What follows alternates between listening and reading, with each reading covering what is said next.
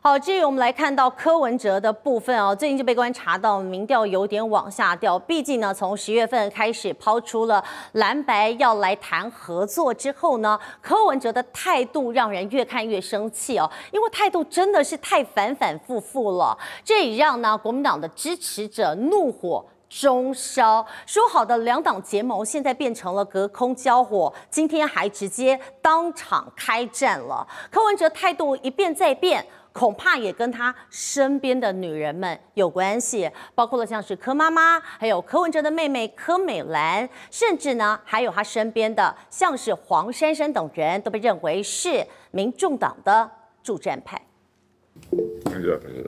蓝白河谈到落下男儿泪，柯文哲连话都一度说不下去。时间点就在十五号蓝白协商的后一天，柯妈妈心疼柯文哲的眼泪，做妈妈的认为协商一开始就是不公平，密室会谈柯文哲吃尽了亏。现在是谈，你知道哦，一定是党对党嘛，一组人谈哦。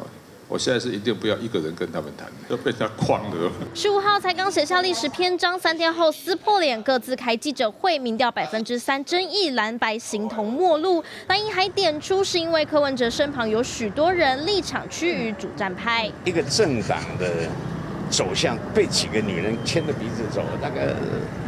不予置评。意有所指，亲友团的意见，柯文哲全都听进耳里，也放在心里。就连妹妹柯美兰也曾经为了柯文哲落泪，认为哥哥分不清楚好人与坏人，但这也被蓝营拿来大做文章。柯家人则认为又被泼脏水了。我觉得其实这就是污名化嘛，哈，因为我觉得我们。